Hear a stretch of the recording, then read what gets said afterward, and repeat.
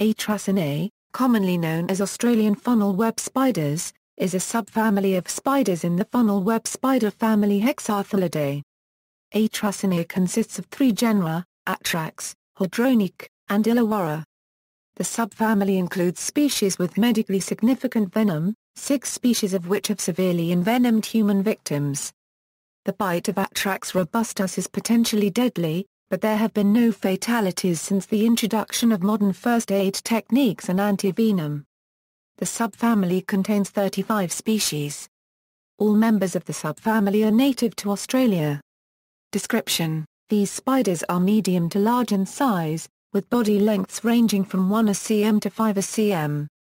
They are darkly colored, ranging from black to blue-black to plum to brown, with a glossy, hairless carapace covering the front part of the body. Like the related diplurid spiders, some hexathelids have relatively long spinnerets. This is especially true of A. robustus. Males have a large mating spur projecting from the middle of their second pair of legs. Like other Mygalomorphae euro and infraorder of spiders that includes the tropical tarantulas a euro these spiders have fangs which point straight down the body and do not point towards each other. They have ample venom glands that lie entirely within their chelicerae. Their fangs are large and powerful, capable of penetrating fingernails and soft shoes. Funnel webs make their burrows in moist, cool, sheltered habitats a euro under rocks, in and under rotting logs, some in rough bark trees. They are commonly found in suburban rockeries and shrubberies, rarely in lawns or other open terrain. A funnel web's burrow characteristically has irregular silk trip lines radiating from the entrance. Unlike some related trapdoor spiders, funnel webs do not build lids to their burrows. The primary range of the Australian funnel web spiders is the eastern coast of Australia, with specimens found in New South Wales, South Australia, Victoria, and Queensland. The only Australian states or territories without funnel webs are Western Australia and the Northern Territory. Medical significance Six species have severely envenomed human victims, including the sea funnel web, northern tree funnel web, southern tree funnel web, Blue Mountains funnel web, Darling Downs funnel web and the Port Macquarie funnel web. Australian funnel webs are one of the most dangerous groups of spiders in the world and are regarded by some to be the most deadly, both in terms of clinical cases and venom toxicity. Examination of bite records has implicated wandering males in most if not all fatal funnel web bites to humans. Adult males, recognized by the modified terminal segment of the palp, will defend themselves vigorously if they feel threatened and tend to wander during the warmer months of the year looking for receptive females for mating. They are attracted to water and hence are often found in swimming pools, into which they often fall while wandering. The spiders can survive such immersion for several hours and can deliver a bite when removed from the water. They also show up in garages and yards in suburban Sydney. Contrary to a commonly held belief, no funnel web spider is able to jump, although they can run quickly. While some very venomous spiders may give dry bites, these spiders do so much less frequently. An inefficient mode of delivery and interrupted contact are also possible causes of low-volume delivery. It has been claimed that approximately 10% to 25% of bites will produce significant toxicity but the likelihood cannot be predicted and all should be treated as potentially life-threatening. Funnel webs are not normally aggressive but will defend themselves vigorously if frightened or threatened. During an attack the funnel web spider generally maintains a tight grip on its victim and bites repeatedly, making it an especially traumatic experience for humans who are bitten and increasing the risk of severe envenomation. There have been 27 recorded deaths in Australia in the last 100 years from spider bites. Bites from Sydney funnel web spiders have caused 13 deaths. In all cases where the sex of the biting spider could be determined, it was found to be the male of the species. Most victims were young, ill or infirm. One member of the genus Hadronyche, the northern tree funnel web has also been claimed to cause fatal envenomation but, to date, this lacks the support of a specific medical report. Assays of venom from several Hadronyche species have shown it to be similar to Atrax venom. Toxins There are many different toxins in the venom of Atrax and Hadronyche spiders. Collectively, these spider toxins are given the name atracotoxins, as all these spiders belong to the subfamily Atracinae. The first toxins isolated were the IACTX toxins present in the venom of both A. robustus and H. hirsuta. Both these toxins produce the same funnel web envenoming syndrome in monkeys as that seen in humans, suggesting that they are responsible for the physiological effects seen with crude venom. These toxins are thought to operate by opening sodium channels. They are presynaptic neurotoxins that induce spontaneous, repetitive firing of action potentials in autonomic and motor neurons and inhibit neurally mediated transmitted release resulting in a surge of endogenous acetylcholine, noradrenaline and adrenaline. Although extremely toxic to primates, the venom appears to be fairly harmless to many other animals.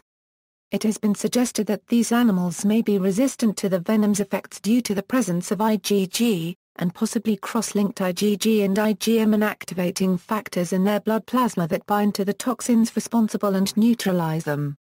The female venom was thought to be only about a sixth as potent to humans as that of the male the bite of a female or juvenile may still be serious. However, considerable variability occurs in venom toxicity between species, together with assumable degrees of inefficiency in the method of venom delivery. Symptoms Envenomation symptoms observed following bites by these spiders are very similar. The bite is initially very painful, due to the size of the fangs penetrating the skin. Puncture marks and local bleeding are also usually visible. If substantial envenomation occurs, symptoms will generally occur within minutes and progress rapidly. Early symptoms of systemic envenomation include goosebumps, sweating, tingling around the mouth and tongue, twitching, salivation, watery eyes, elevated heart rate and elevated blood pressure. As systemic envenomation progresses symptoms include nausea, vomiting, shortness of breath, agitation, confusion, writhing, grimacing, muscle spasms, pulmonary edema, metabolic acidosis and extreme hypertension. The final stages of severe envenomation include dilation of the pupils, uncontrolled generalized muscle twitching, unconsciousness, elevated intracranial pressure and death. When death occurs it is generally as a result of progressive hypertension or possibly elevated intracranial pressure consequent on cerebral edema. The onset of severe envenomation can be rapid. In one prospective study, the median time to onset of envenomation was 28 minutes, with only two cases having onset after two hours. Death may occur within a period ranging from 15 minutes to three days. Treatment Due to the severity of symptoms, and the speed with which they progress, in areas where these spiders are known to live all bites from large black spiders should be treated as though they were caused by a funnel web spider. First aid treatment for a suspected funnel web spider bite consists of immediately applying a pressure immobilization bandage. A technique which consists of wrapping the bitten limb with a crepe bandage, as well as applying a splint to limit movement of the limb. This technique was originally developed for snake bites but has also been shown to be effective at slowing venom movement and preventing systemic envenomation in case of funnel web spider bite. There is evidence to suggest that periods of prolonged localization may slowly inactivate the venom. Emergency medical treatment should be sought as soon as possible. It is important that the pressure immobilization bandage not be removed prematurely. It should remain in place until intravenous access has been established, adequate medical monitoring is in place and a supply of antivenom is available. A patient who is not displaying any symptoms of systemic envenomation may deteriorate rapidly when the bandage is removed. Further supportive care may be necessary, but the mainstay of treatment is antivenom.